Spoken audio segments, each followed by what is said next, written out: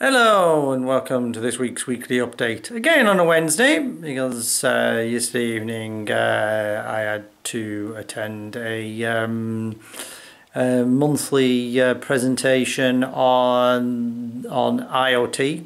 Uh, this week it was all about robotics and and, and robots.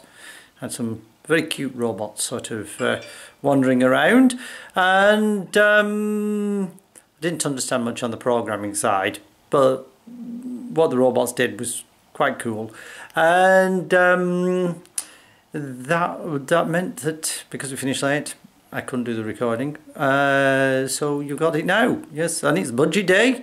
Uh, I see that uh, the payback uh, for the, all these billions and billions and billions and billions well it's not billions it's trillions isn't it uh, pounds of debt that we've got uh, has started. Uh, freezing personal allowances, uh, slowly, slowly, slowly, slowly uh, raking in money.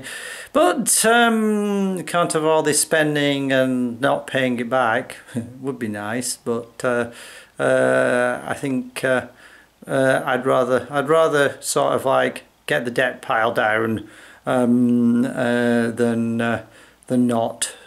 So um, yes, here's to being a little bit worse off yeah, it's, it's never good with the budget, is it? Um, I don't think any. However they dress it up, it's always there's always a sting in the tail. You know, sort of give with one hand, take away with the other, and put the boot in at the same time. Um, so apart from that, uh, what I've been doing, uh, I've been um, uh, been out, managed to get out to do some cycling again. Um, and that's about it really. Um, cycling and walking, cycling and walking. Um, and I noticed the tyres on my bike are sort of wearing thin a bit. And um, uh, it uh, it's got to need new tyres fairly soon, so that'll be an expense.